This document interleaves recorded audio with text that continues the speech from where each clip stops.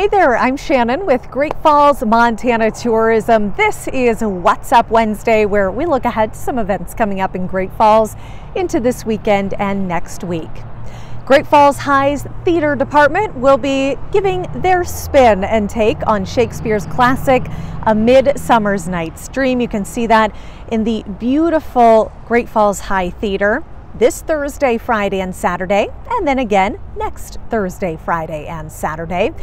If you're in your Taylor Swift era, well, you can celebrate that at Wheels of Thunder with Taylor Swift Night on Friday night. Then on Saturday, Paris Gibson Square Museum of Art is honoring veterans, active duty service members, and their families with a military arts day. That is a free event on Saturday.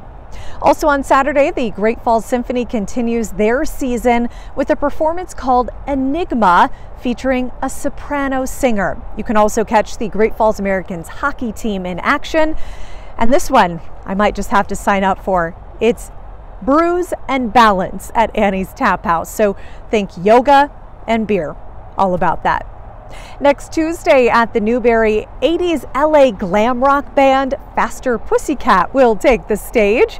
And then don't forget, get your tickets next Thursday, November 16th. It's Dirty Dancing live in concert. So this is a digitally remastered showing of the iconic movie with a live band and singers who will be performing the iconic songs from that movie.